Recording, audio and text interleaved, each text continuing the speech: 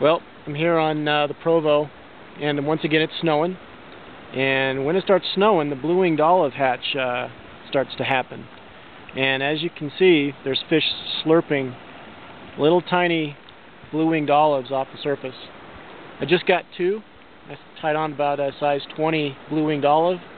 And uh, as you can see, I need to get back to fishing. Get some more.